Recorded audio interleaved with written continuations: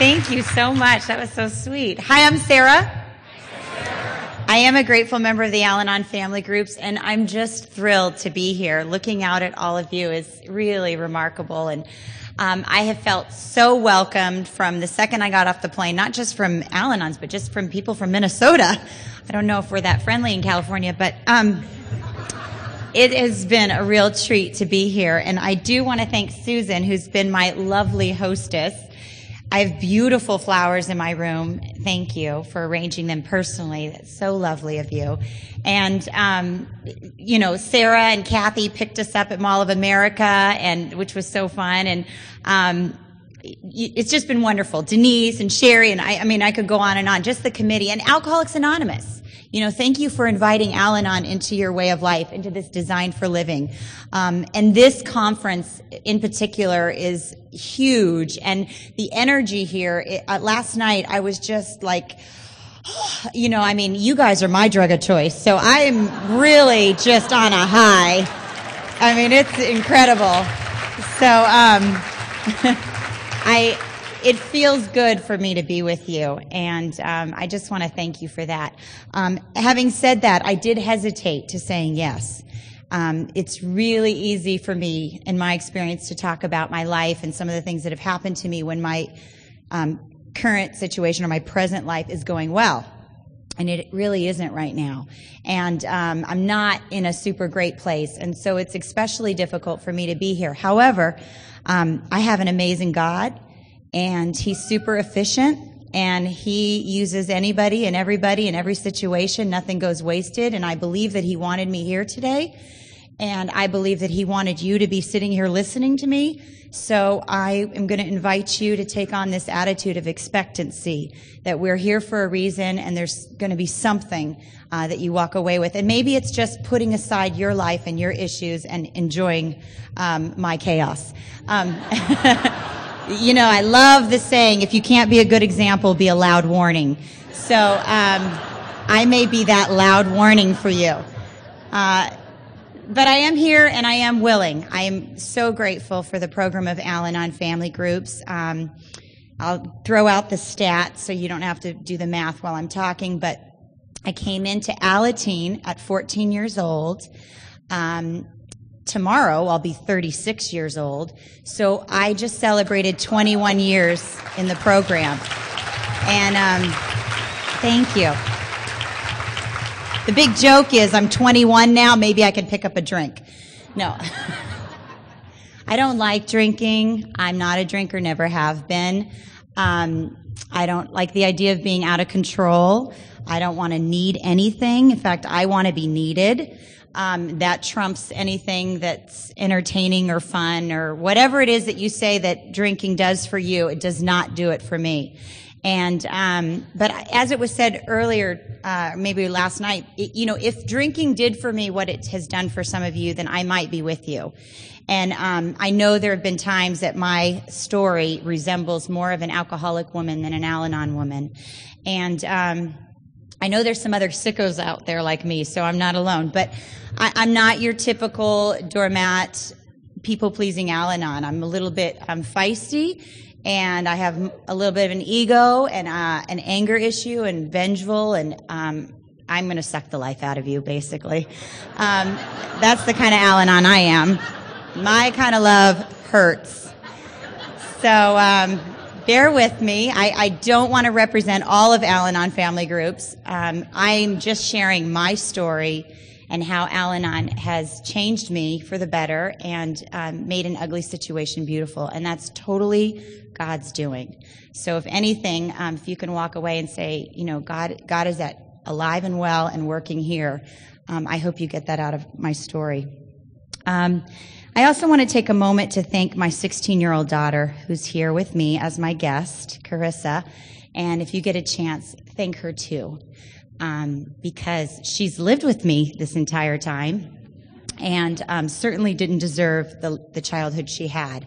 However, um, I am so lucky and so blessed and honored to be her mom. And I, I I got to tell you, she wasn't impressed that I was speaking and certainly didn't really want to come to an Alcoholics Anonymous convention, if you know what I mean. Uh, she's very much a normie. Um, However, Mall of America is in Minnesota. and uh, bribery works in adolescence. So uh, we took a red eye. We arrived at 5:30 a.m. yesterday, having very little sleep. We got into our hotel, thankfully, slept for a couple hours, woke up. Uh, you know, Dee spoke earlier, and he talked about not being a planner and living spontaneously. I'm quite the opposite. I come from chaos, and so I'm very anal and structured. I had called ahead. I got the map the directory from Mall of America, the catalog. I got out all my coupons, all my promos. I knew what stores had sales. I mapped it out. We knew exactly where we were going. The difference is there we I, I added leeway time because if you're like me and you make your plans, things go awry. And so I, have learned in Al Anon to soften up a little bit. I can still make my plans, but I always have a plan B and a plan C. And I also didn't say this is what we're going to do when. It was like this is what we'd like to do, and then we can kind of go with it. And it worked well. We had a great time. Um, that's the kind of Al Anon I am. And I, I really want to thank you for being here too, um, to support me. It means a whole lot. Anyways, um, I grew up uh, in a family that was affected by alcoholism. And today, most people in my family call it the disease of alcoholism by its name. Um, you don't have to drink to suffer from alcoholism, obviously. Um, but for a lot of years, nobody really called it by its name. We didn't know what was wrong with our family. Um, I knew something was wrong from a very young age, very wrong, and um, I felt compelled to do something about it. What I didn't know, but just something. And whatever it was that my parents were doing, it was not enough. And uh, my basically to sum it up, my dad drank, my mom cried, and I screamed. And I was so angry all the time. Um, I'm the oldest of five, and I can remember when um, I think it was the second to the youngest was born. I totally remember looking at my mom in this judgmental, arrogant way and thinking, I could be a better mother than her. And I just had this arrogance and this anger, and both my parents were weak. My dad couldn't really hold down a job. My mom couldn't get him to do anything. We never had food in the house. We never had money. We were moving all the time. All of us were born in different states. And it was just, and the house was a mess, and the, the yard was the, you know, the ugliest house on the block with the weeds up to here. And it was like unmanageability all the time. And I felt so angry that this was our life. And I really remember thinking, if I, only I was born in a different family, you know, I would be okay. Why did I have to be in this family? And it was all about them. If they would all get it together, I would be okay. And, um, you know, I was so resentful. I, my dad is, um, or has been, well, actually is again, but anyways, he's really involved in um, ministry. He's a preacher, and and so I have some religious residue um, that I'll try to keep away from the podium. But um, but on the other hand, if you're thinking that girl's charismatic, it's from my dad, and I'm grateful to that man for that, and I can see the good that he has given me. And I am no longer ashamed of the parts of me that resemble my father, which is totally a gift in Al Anon. But anyway, this is what it looked like for me growing up. My dad always had people around him, people that were looking up to him, that thought he was wonderful. And I felt like the only one who knew the truth. Like it was maddening. Like I wanted to scream. Like, whoa, you know, what is going on? And people would like pat me on the head. I'm blonde hair, blue eyes, and I used to be this, well, I, I still am short, but not as petite. Um, little, you know, cute little girl, and they'd pat me on the head. What a cute little girl. And I felt like there was this uh, ugly black monster living inside of me. Like I did not feel like this cute little girl. I just felt so just nervous and angry and old, really old. And um, not physically old, but like just emotionally. Inside, I felt, I've always felt old and um, tired old. And just like I, I just, I don't even know how to explain it. But it was basically one of the reasons why I think when I came into my very first meeting at 14 years old, I glommed onto it. And I'm one of those people that have been coming to meetings ever since. I, it's like a spaceship landed and all my people got off. I mean, I was like, I totally clicked when I came to my first meeting. And I remember there's two people that were at my first meeting who I still see today. It's really neat. But, um, this guy in the room at the Alateen meeting, he, Now, mind you, I got to go back. I'm a little bit of a, a goody two shoes. You probably picked up on that because I don't drink. Um, and I'm a preacher's kid. And so I get straight A's. And um, I come into this meeting, this guy like leans back in his chair and he's a big leather jacket on. He's missing his front tooth, a mohawk up to here. This was an 87. So a mohawk up to here that was bleached white, earrings all the way up. And he leans back and he said hi to me and everything inside of me just was like, ah, because he looked as bad as I felt, and instantly I was attracted. I was just like, oh, I mean, he was so hot. And, um, I knew that, you know, you guys had what I wanted and that whole thing. I just, it clicked. So I started going to Alateen and I loved my meeting. Um, I was 14, turned 15, and shortly after being in Alateen, I learned you can't make an alcoholic stop drinking. It's like trying to tell somebody with pneumonia to stop coughing. And I w- had really like glommed onto the fact that my dad, the, the constant in his life was the drinking. And although they say you only know alcoholism by the alcoholic you know. Um, my father was a periodic, so there he could go great lengths of time without drinking. So it was scary for me, um, you know, not really being able to pick up on it, and and so sometimes I thought it was depression, which I know he also suffered from, and sometimes I thought he was just an idiot because he couldn't keep a job, and so I, I didn't really know the problem. And then once I found out about the alcoholic word. I, I, thought it was one more name to call him. You know, it was that kind of a thing. But um, when I learned you can't, like, what's the point of going to meetings? Why are we here? You can't make him stop drinking? What? And um, my solution to that was leave home. And, you know, I didn't run it by a sponsor or talk to anybody about it. I just decided I've got to go. And so at 15 years old, I left home. And with that comes a lot of um, connotations and judgment. And, I, you know, for my own self worth or whatever, I have to tell you, I was not a bad kid. I really was a good kid, but I, I could no longer live in active alcoholism. And I just did the best I could with what I got. And I had to leave home. And my younger brothers and sisters felt like I abandoned them. And it was a very painful time. And still to this day, there are, there's some, um, hurt with my younger sisters and I w- over that. And I just, you know, I'm making living amends and I'm, I'm grateful for this program because I don't have a problem. If I have to make amends to my family to the day I die, I will. But, um, which is fine because it's a better way to live. Um, but anyway, my sisters really felt like I had abandoned them and deserted them, and my mom too. And uh, right after I left the house, it, it, was really just to prove a point. You know, we want, we want cut off your nose to spite your face. I just wanted to show my dad that I was stronger than him because he would always say he was going to leave, and I'm leaving you all, and make this dramatic scene and run out in the street, and, and then he'd come back an hour later. You know, and it was so. So I left to show that I could. And after two months, my dad had lost everything and went into a big slump of depression. And my mom ended up being moved into a shelter with the two younger ones. And my brother went and lived in this family. My sister went and lived in this family. And there was no home to go back to. And so it was kind of like my bluff had been called and now I'm here. And so luckily for me, I, I, I had these, you know, brains, whatever. Um, I got good grades and I really thought that God like, um, I thought he worked like this. I thought, you know, he gives and takes. So I thought, okay, I had this messed up home, but then he gave me these brains so I could go to school and I could be somebody and I could get out and I could go ahead and never look back. And I would be successful and be somebody. And um, so I put everything into school and I ended up getting a scholarship and I went to a private high school and I cleaned the men and the boys and girls bathroom in order to stay at that school and I really was a good kid.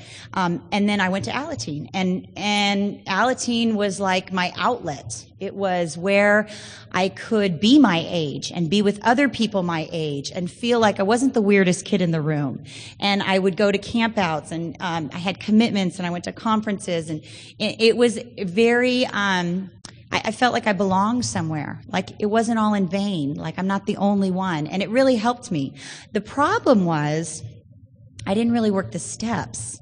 Um, I, I, came for the fellowship, and um, you know, there, there's magic in working the 12 steps. But um, I'd get a sponsor, and I'd work steps one, two, three, and then I'd get a new sponsor, and um, that was a game I kind of played. And um, anyways, I found out that um, I'm a really good girlfriend, and a really good girlfriend to people with problems. And um, so I always had a boyfriend, and I and he. I'm the kind of person that I, I go out with people that make me look good. So if you're standing next to me and your life is falling apart, I look a whole lot better. And it, you know, it, it's uh, it's not really about saving you; it's about me looking good. And um, so anyway, I I pick winners, and um, usually newcomers sober in AA, and um, yeah, I was one of those. Anyways, watch out for the Alateens. No, I'm just kidding. Anyways, um, I found myself pregnant.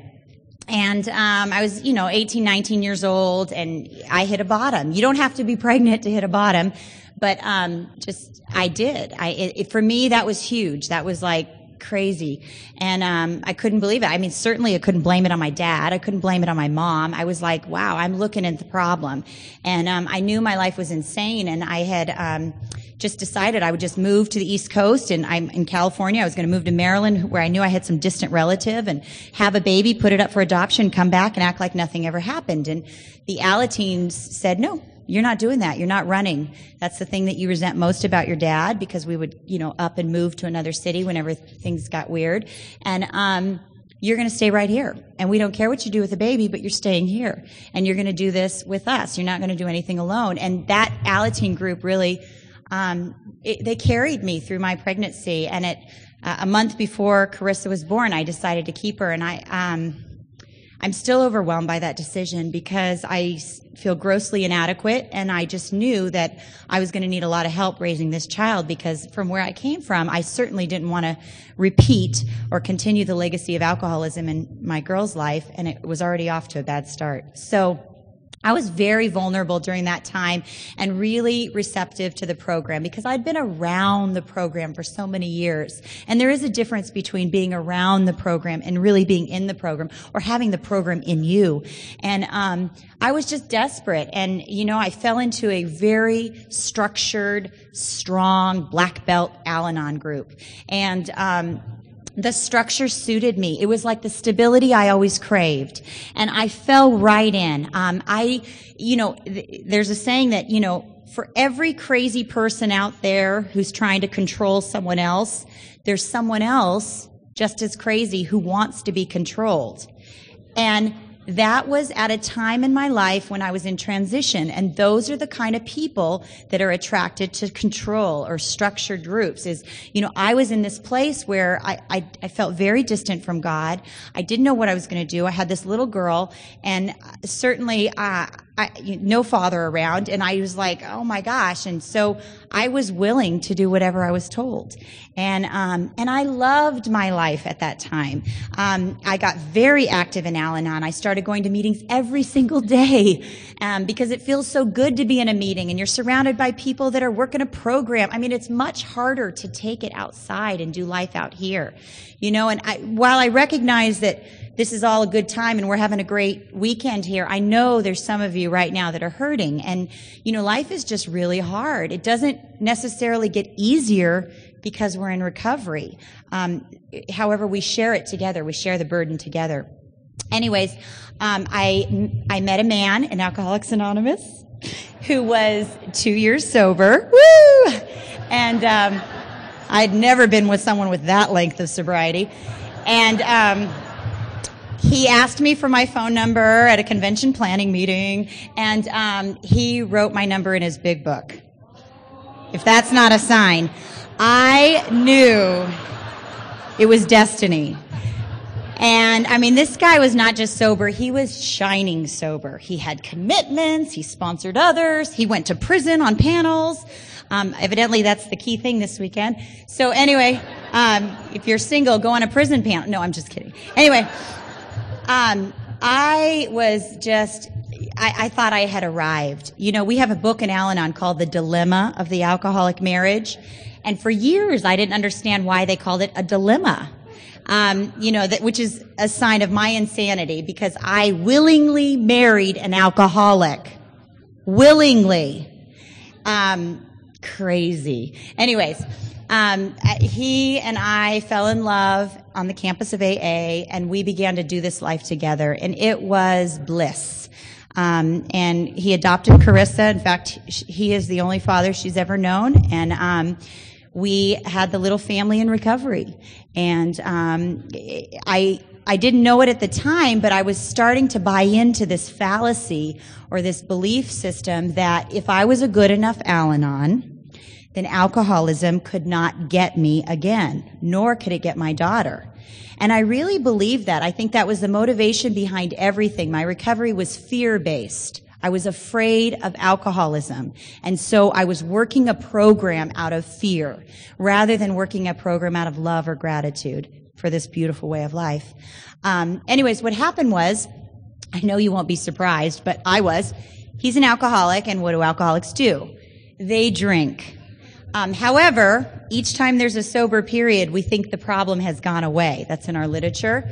He had a sober period of nearly nine years, and um, he was a member in good standing, and um, it was very abrupt, and, to say the least. I felt like I came home and a bomb had exploded in my house. Um, and he didn't just like go out and have a beer. I mean, he full on went out and just dove into the disease of alcoholism. And our home group and the people around us, his sponsor, the people he sponsored, everybody was like shocked. Like, what the hell just happened? Um, this is alcoholism we're dealing with. And it is abnormal for an alcoholic to be sober. Um, but you know, it, I just, I guess I felt immune. And um, a couple weeks before the truth came out or whatever, um, I had smelled alcohol I thought I smelled alcohol in our bed on him or something. And this just shows you my denial. But um, I, I hadn't smelled alcohol in so many years because I was one of those Al Anons who just cut everybody out of my life who wasn't in recovery because I stick with the winners. Um, your, your world gets really small. But anyway, um, I smelled alcohol and I thought, well, it can't be Jeb. It must be the dog. Now, my golden retriever does not drink uh, and never has had a drinking problem as far as I know. And but I accepted that as rational and went to sleep that night. And you know, I, I, there have been times in my life when I've looked back and said, "What was wrong with me? Why didn't I see the signs?" You know, and I never trust my gut. That's like a big, a big Al-Anon symptom. You know, I, I always think someone else knows better, someone else has the answers. Every, everything's outside of me. And I, I never trust that still small voice or that gut inside of me that God created and put there for a reason. And it's just as credible as anyone else's. But, um, you know, I don't beat myself up over that. I, for whatever reason, I needed to sleep that night. And more shall be revealed means that things are uncovered when they're supposed to be uncovered. And I just wasn't ready. Um, but the way it happened was I came home to a note, which was kind of yucky, and um, and our whole life blew up. And it was at that time when um, our home group got really weird, and it was very much like alienate him, get him out. It's like nobody wants to catch it. And um, my daughter came home one night, and she, she was seven years old, and she said Mommy, mommy, they're talking about daddy at the meetings like he's a monster. He's not my a monster, he's my daddy. And I got down and I looked at her and I said, Oh honey, you're right, he's not a monster. Your daddy loves you so much and no one can take that from you. And then she goes, Well, why won't you let me see him?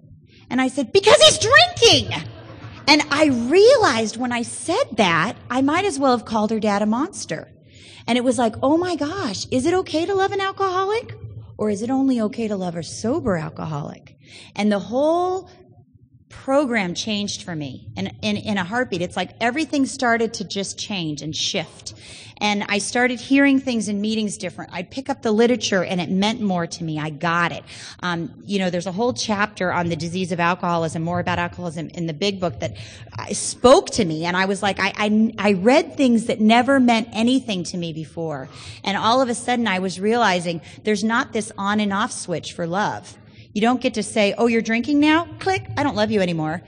I, I don't know where that switch is. I didn't just stop loving him because he started drinking. And, and there were people around me in recovery who wanted me to do just that. And I couldn't. Um, and so it was, it was maddening time for me. It really was. And what ended up happening is I ended up changing sponsors, which was very painful. And I uh, started going to more meetings, which is always a good thing to do. Um, when you're in pain, um, you know, maybe not double the meetings you're going to because I was going like every day. But for me, it was go to different meetings, you know, step out and, and take someone with me, obviously. And the sponsor that I got at that time was just a godsend to me. She, um, number one, she made me laugh. Even when I was feeling like I was going to die, like the worst was happening, she made me laugh. And she saw the humor in our situation, and it was a blessing. I remember when I introduced her to my husband, she had never met him before. And uh, we weren't living together. I have to clarify. I had made a pact with myself as like six years, six or seven or eight years old, a little girl, that I would never live with someone drinking. I would never have alcohol in my home. And I don't know where I got that, but I had that from a young age. So when he went back out to drinking, I knew we couldn't live together. However, he stayed over like every night. It's like his stuff didn't live with us. So I really just didn't live with the, the stuff of an alcoholic who was drinking. So whatever. Um, you know, like his clothes and everything was elsewhere. But anyway, um, you know, it's like those, we tweak our own convictions. You know, it gets weird. I mean, we get sick too. I'm not even drinking, and I, all of a sudden, my principles and my convictions are getting tweaked and compromised just because I got to live with myself, and I don't know how to love an alcoholic and do so in recovery. And so, anyway, um, I introduced her to him to my sponsor for the first time, and I remember he was loaded, and. Um, I was like, oh gosh, I want, like I wanted him to make a good impression or something, you know? And, uh, she knew that he had gone back out and he'd been in AA for a while. Anyways, he starts rattling off all these people he's going to kill, which is always impressive when you meet someone. And uh, I was so like inside, I was like cringing. And my sponsor said, "You know, can I add a couple names to that list while you're at it?" I mean, she made this joke. It was so funny, and we all laughed. And I felt like you know, like you guys have taught me how to love an alcoholic. You know, hate the disease, love the person. I remember um, during that crazy time when he was back using, um, I would show up at parties. You know, maybe I'll be one of those wives of a drinker. Like there, there are some courageous women in our meetings today that live with drinking and have never seen a sober breath on their loved ones. So, you know, if they can do it, maybe I can. And so I'd go to these parties, and I, I remember one time I had a commitment at a um, assembly, and I came home from the assembly, or maybe it was anyway um, and I went to this birthday party where he had taken our daughter, and I could see all the adults were drinking with kids at the party. I, I, I, know you guys aren't surprised, but I was surprised. like, I couldn't believe that's what they do at a child's party. And so I grabbed my daughter and I'm like, honey, there's drinking here. Are you okay? And she's like, mom, you're the one who has a problem with drinking. And she's like eight years old. And so you know, things like that were happening. I just, I was weird. And, um, I was the only sober one at one party I went to. Um, a kid fell in the pool, like could have died, you know? And I jumped in with my clothes on, saved the little boy's life, pulled him out of the pool, and a big fight broke out. I'm standing there dripping wet. My husband's laughing. The little kid ran off to the jumper. And I'm like, I just saved this kid's life. And I'm not a hero. I'm like totally humiliated. And it was like things like that just, I felt like I was on a totally different plane. Like I just, we were not connecting. I don't fit in the drinking world, unfortunately, or fortunately, depending on how you look at it. Anyways, um, and he would try to meet me in my world. He'd come to conventions loaded, and um, I'd be like trying to hide it from people. Like alcoholics don't know when another one is, anyway. And you know, people treated him no different. I mean, I was freaking out at this Orange County convention that we have because I'm thinking, I wonder if people remember he was the spiritual speaker last year. And, you know, I, I'm sure they did. And they still hugged him, welcomed him, got him a cup of coffee. I mean, they treated him like they treated anyone else. And I was humbled by that. I, I was blown away by the love that I saw from one alcoholic to another. And I don't know if it did anything for him, but it really did a lot for my recovery. It showed me, you know, that it, it, it's not of my power to love an alcoholic. It's got to be God through me. And um, if I'm walking in the line of recovery, it's just there's there, the resentment and all that other stuff. There's no room. You know, it's a small path. So anyway, um, uh, basically we we were not connecting, and he um, he was uh, fighting the courts at that time. He had committed a, a, crime, and but they had unjustly charged him, and um, And so the big battle was, do I go to court with him or not? I don't approve of what he's being charged for. I, you know, I don't really approve of him even fighting this. Do I show up for court or not? And my sponsor said something magical to me. She said, it's not so much important to me that you do what I think you should do, but it's important that you keep telling me what you're doing. And the reason for that is it's not the secrets that kill us. It's the keeping of the secrets. Who cares what the secret is? Who, ca- you know, we, we get so bogged down with how ugly or I don't want to tell people that, you know, I've been coming to meetings for so long and this is what I'm dealing with. Oh my gosh, just get it off your chest because the keeping of the secrets is what, you know, kills me. And, um, that freed me up. And so there were some days when I totally did exactly the opposite of what my sponsor thought I should do. And I was like, oh, am I going to fall off the Al Anon cliff? You know, I'm not obeying my sponsor. Um, but what she told me is, you're going to, you're going to take responsibility for your own life in doing this. And also, you're going to exercise that gut muscle, that trusting your gut. And sometimes it'll work better than other times. And you're going to make some mistakes and you're going to fall on your face. And I'm going to love you no matter what. And that was like magical. She's going to love me no matter what. She's going to walk with me through this mess. And um, so some days I went to court and other days I didn't. It was like, okay, am I not going just because I'm trying to get him to hit a bottom? You know, Try, there's a piece of literature called Detachment that we have, which I love, and it talks about we don't create a crisis and we don't prevent a crisis if it's a natural course of events. And so it, to me, it's all about motives.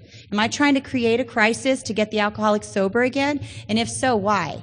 What, what am I missing in my own recovery? So anyway, um, he finally decided to just go to jail. And I was so happy. I, I, got a babysitter. I made a big dinner. He was turning himself in. I'm so proud of you. um, and uh, you can see how, how, how annoying I am. Anyways, um, say a prayer for him tonight. No, anyway. So after dinner, I was cleaning the dishes. I came out and I'm like, time to go to jail. And he's like, mm and I'm like, what?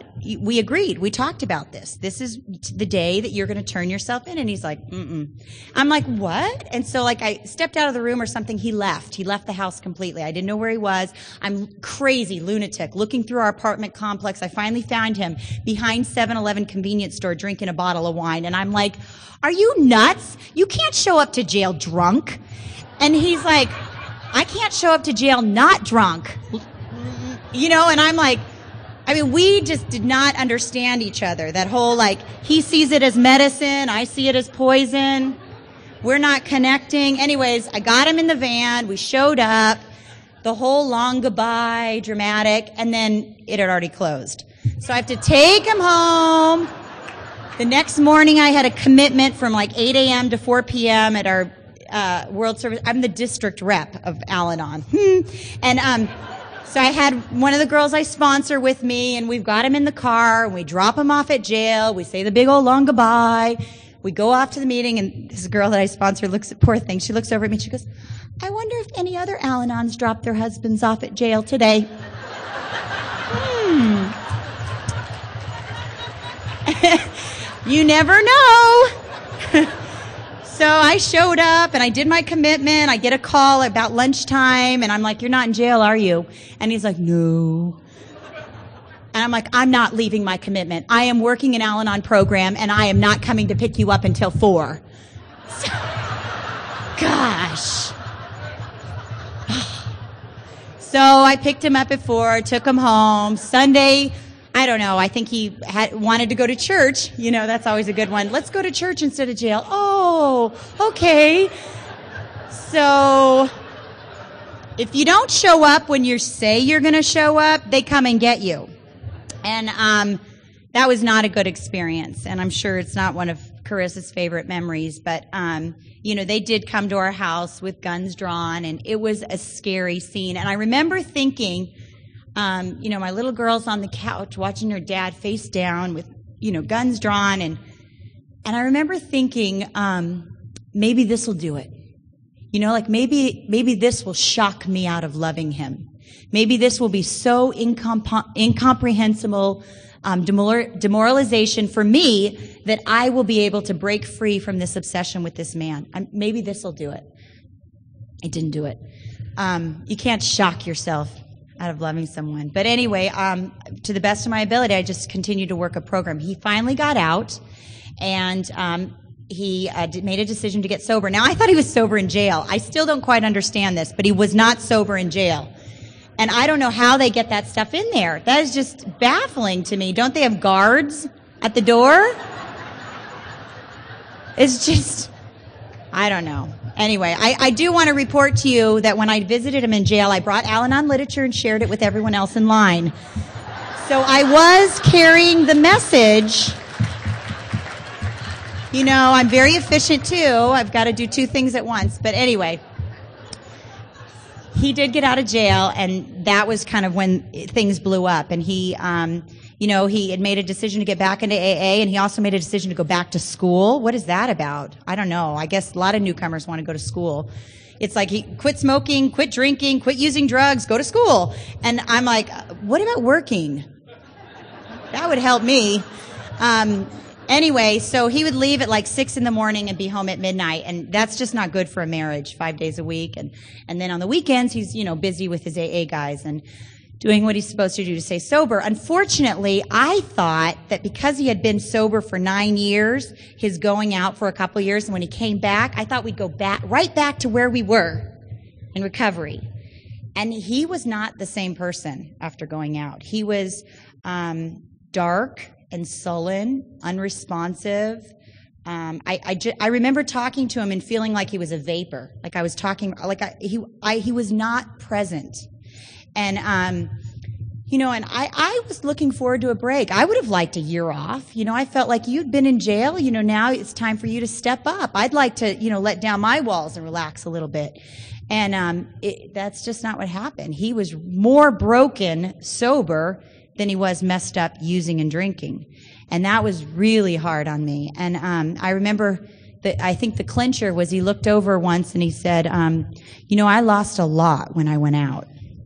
And I'm like, Yeah. And he's like, And I think part of what I lost was my love for you. And it was like, Ugh. I mean, what?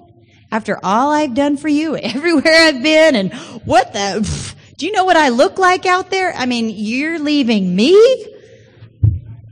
I know. It's shocking. But I'm still shocked. anyway, um, that was a really dark time. But um, we ended up getting divorced. And um, I remember someone told me if you're meant to be together, nothing in the world will keep you apart. And if you're not meant to be together, nothing in the world will keep you together. And it was like somehow there was a level of acceptance. It was okay. It was like, okay, this just is what it is.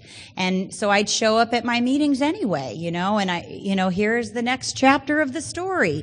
And the saga continues. And um, I remember he, um, he got really active in AA again, as they do, and um, you know he's like the bachelor AA guy, and he's you know nice looking guy, and girls like him, and ugh, and um, anyway, he you know he wasn't really working, and um, so he was available, is what I'm trying to say. I was working. I had Al Anon commitments. I'm busy, busy, busy. And I'm so busy because I don't want to feel. And so I've got commitment after commitment. And I, plus I'm working a full-time job and raising this little girl. And I'm just crazy. I'm always late everywhere. I show up and anyway, my daughter started playing soccer and he was like soccer dad. You know, he was at every practice, every game. All the soccer people loved him. They got him a jersey with his name on it because they love him so much. And then here I am, ah, you know, and then, and I know they were judging me. You know, like you can tell by the way someone looks at you. I sense it when you're judging me. There's some of you judging me right now. I feel it. And I would go to go to my phone in the car and just be crying and anger and just so mad. What is it about the alcoholic that makes everybody love them? And um, my sponsor said to me, "What is it about you that wants to take away your daughter's hero?" And I was like, oh, ouch. And she's like, how important is it for your daughter to have a dad in her life? Now, I mean, that's like my trigger. I mean, more than I wanted a sober husband, I wanted my daughter to have a sober daddy more than anything in the whole world.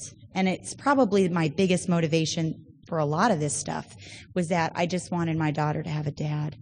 And, um, and so I'd suck it up and do the right thing. And I talked to him with respect and I treated him with kindness and courtesy. And um, I didn't badmouth him to the other lame soccer people. And, um, you know, and I let them believe the lie. And, um, and that actually paid off. You know, it really, it really did. Believe it or not, that whole thing about you act yourself into right thinking and feeling and all of that is so true because I started to actually feel that respect towards him, feel that gratitude that he wanted to be so involved in our daughter's life. Um, feel, I really started to feel that way, and we got along really good. And we would talk about it and laugh about it and be like, "Oh yeah, you know, some marriages just don't make it, you know, whatever." And um, then one time he asked my daughter if he could join us at church, and she was like, "Yes, Daddy." And um, I was like, you said what? And so, um, she's like, why not, mom? And I'm like, oh, okay. And so we'd go to church together. And what happens is they dismiss the kids after a certain period. So she gets up from between us and then it's just us. And then it's like awkward. So you move over so other people can, so then we're sitting together at church and, you know, it's just like, ooh. Anyways, we started dating again, got married. Um, I just cut to the chase. Get it over with. Um, so, I mean, in my hometown, people just die laughing whenever I talk because it's like, oh, you know, I'm embarrassed to say I love an alcoholic and he's no longer sober. And then I come up, you know, like a week later, I'm being facetious, but, you know, come back, oh, I'm embarrassed to say, uh, you know, I love an alcoholic. He's sober again, but doesn't love me. And then I come back a week later, oh, I'm embarrassed to say I love an alcoholic and, and he's divorcing me. And then I come back a week later, oh, I'm embarrassed to say I'm dating an alcoholic and same one. And, uh, you know, and they're just like, get over it. You love an alcoholic. Get over it. You know, you're gonna, you're gonna feel bad no matter what. So just stop feeling bad. Doesn't matter what's going on. Just let, just cut that part out. You know, I always feel less than. I always feel never enough. I always feel judged. You know, just cut that part out and just come and report your stuff. Just report your stuff, you know, and work the steps. Oh my God. If I wasn't working the steps, it, yeah, it would be nutty. Um, can you imagine? I have to say that. This whole time I'm working the steps. Can you believe that? And I'm this nuts. Crazy. I'm telling you, it would be way worse if I wasn't in recovery. So, anyways, you guys take the edge off. You really do. Um, so we got married again, and I was sure, you know, this was it. That was the point of it all to be restored now I have this happy ending to the story, you know, this life that I've always wanted. And um, I, I got pregnant on our honeymoon. Um, and I was like, oh my goodness, my daughter's like 12, 13 years old. And I'd always wanted to have another baby. And I always wanted to do it the right way, you know, like the way God intended with the marriage first and then a baby. Um, there's a reason for that, by the way, in case some of you are wondering. It really helps to have two people. Such a difference. But anyway, um, I had a miscarriage at four months, four and a half months, I think.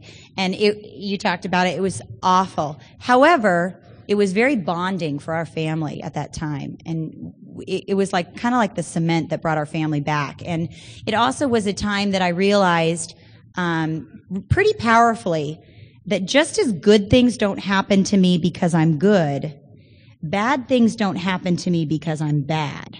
Life just is what it is.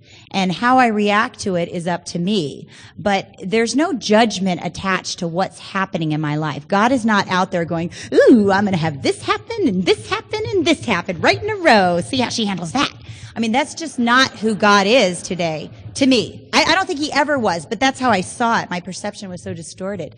Um, I think life just happens. And, you know, whether I choose to do it you know, an easier way with God's help, or if I continue to try to fight life on my own terms with my own resources, which are very limited, um, you know, it's up to me. So, anyways, that was a, a difficult time, but I, I, I really saw that, it, and it helped me, is what I'm trying to say, because when my, I, I did get pregnant again, and I had a little boy who's now two and a half.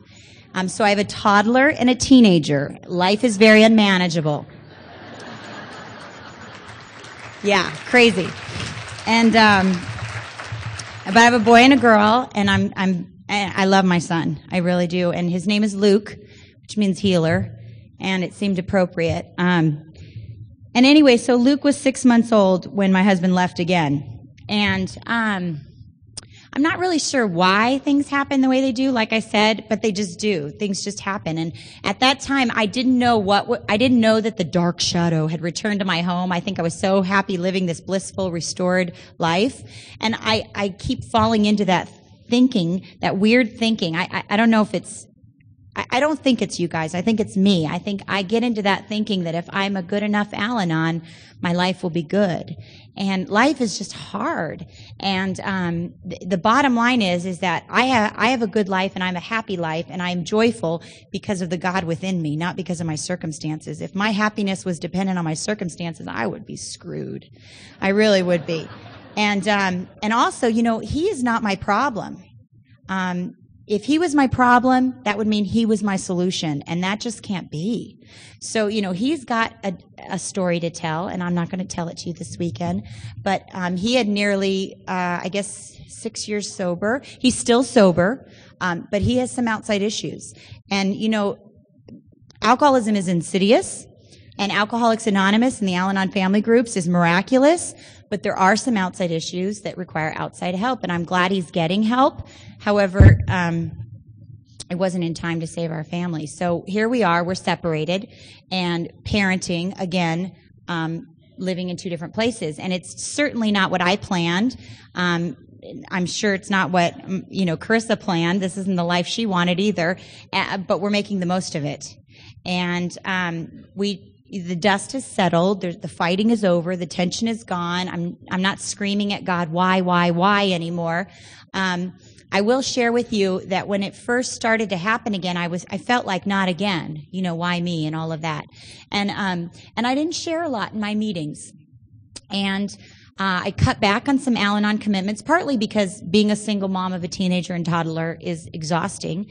And my sponsor said that my kids are my number one Al Anon commitment and that uh, everything that I've learned and all the commitments I have come to this. What kind of mom am I? And um, so I cut way back, and my circle of support was really small. And my sponsor would say things like, "This is just a season of your life." And um, you know what? So what if you're not popular in Al-Anon? So what if you don't get to go to every single thing and, you know, and everybody doesn't know every detail of your life? You're maintaining the dignity and stability of your home. And you know, there's just something to be said. You know, I could, what I say to you one on one, what I share in a meeting, what I share from this podium, um, if it damages another person, I can't really call that recovery in the name of recovery, I cannot hurt another person. And so, um, I got really selective with who I talked to about the details of my life. And um, the the most amazing thing that happened from all of this is that um, I did not fall apart the way I did when he drank at nine years. And you know, Eleanor Roosevelt said, "A woman." And I like to change it to an Al-Anon, is like a tea bag. You only know how strong she is until you put her in hot water. And I love that because my recovery and all the work that I've done recently, um, when we were separated and divorced, really showed this last time. Like there was a calmness about me. And that's not to say that I haven't had outbursts. And, you know, I'm very passionate person and also very emotional. You can ask my daughter. And, um, and and I love to cry in the shower. And there have been times when she's banging on the door, I can hear you crying because well, more like wailing. But um, you know, I've learned that there's a time and a place that is appropriate to grieve. And there's a really neat book that just came out in Al Anon called Transforming Our Losses. Not to give a little Al Anon commercial, but I love that book. And there's a section in there where it talks about um, grieving the childhood that you didn't get to give your kids. And it just tore me up to read that, but it really gave me an, an avenue. You know, every time your heart breaks, it breaks open. I heard somebody speak, share that, and I love that. But it's like it's given me this way to forgive myself um, for some of the choices that I've made that I'm not really proud of. And I remember um, Carissa looked at me once. We were having breakfast, and and she said, knowing what you know now, would you have married dad again? And it's like, oh, how do you answer that? You know, because on the one hand, I'm really grateful for my son. and he's really neat. And he, I know he wouldn't be here had I not gotten married again. On the other hand, the truth is, knowing what I know now, I wouldn't. But I didn't know what I knew now. You know, that's just not the way life is. You don't get reruns. You don't get to go fast forward, delete. There's a great movie called Click. and I love, oh, I wish I had that. But anyway, um, you know, there's no rewind on my life. So, you know, I can take what I know now and use it for today. And um, what I've got to do is um, affirm her and you know share with her that while this may be the life she had growing up it doesn't have to be her life from this point forward she's going to make choices in her life and you know god's got an amazing plan for her it's evident um, just in just in knowing her. And um, and she doesn't have to live this way you know she doesn't and the good news is is that I, I just couldn't look her in the eye and say this is what a marriage looks like you know? So there's a part of me that's like it's okay. It's just okay. Um, it is what it is. And we are still a family um, and that was really huge for me to be able to say we are still a family. And uh, you know the family might not look the way it looks in some books or whatever or the way society wants it to look but we're still a family. And um, we're making the most of it. And you know i, I uh, every time my life has taken a sharp turn and something's happened whether it be my husband drinking or you know me changing home groups or sponsors or you know him going to jail or leaving again or whatever um, what it has done is it's given me a chance to assess why do I keep coming back? What really does it mean for me to be in recovery? What does it look like for Sarah to be an Al Anon member? And, um, you know, I'm not here to get someone sober, to keep them sober, to change them, to force them to love me, you know, all of that. There, that's just not my motive. I just, I really totally subscribe to this way of life. Um, I just think it's a better way to live. And, you know, as I started to come out of the closet and tell people that, you know, my family was not actually restored and my husband wasn't even living with us anymore, like we went months without even telling people. Um, partly because it was painful, but partly because I, I, I, wanted to retain some dignity for my kids. And um, anyway, I was amazed once again at the reception. And people have been so loving to me and so warm and so. Um, I did have somebody say to me, uh, I bet you feel dumb marrying him again. But um, that was one person. They're really sick, and I pray for them. No. for the most part, people have been, you know, I have heard things like it's never wrong to love someone and you gave it your best shot. And, you know, you, you, you put yourself out there and, you know, that's the, that's what matters. It took, it took courage and all of that good stuff. And my sponsor today talks about being gentle and how Al-Anon is a gentle way of life. It's a, a, a gentle uh, application of these principles. I'm not trying to force a solution. I'm not out there fighting my way through life. I'm out there saying, okay, this is who I am. This is what I've done. This is what I've experienced. Um, these are the mistakes I've made. Um, these are my hopes and dreams. What can I do with it?